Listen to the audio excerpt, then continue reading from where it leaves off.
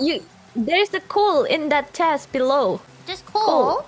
Oh, Kaela, I've grown since the beginning of this stream. Whoa. Coal is trash to me now.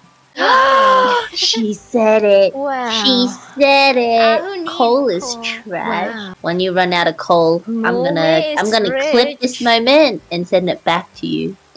okay. Where should I get coal? She's drunk off insurance. Should She's drunk off insurance. I am. Hello. Yes. Hello. Here.